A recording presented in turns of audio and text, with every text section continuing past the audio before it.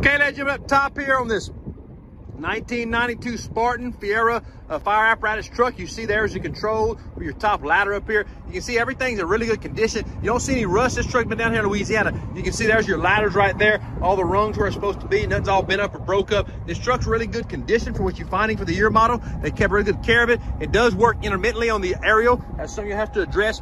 And the truck is running under power on the engine. Only gets about 40 miles an hour. So uh, you get something like that, you have to put a little bit of money into, but it's a really nice truck. Everything's where it's supposed to be. Got a really good set of rubber. Inside's nice and clean. You saw the pictures. We're doing our video. What all time I saw is gonna find is 1992 Spartan Fiera aerial ladder truck coming southwest. Thank you.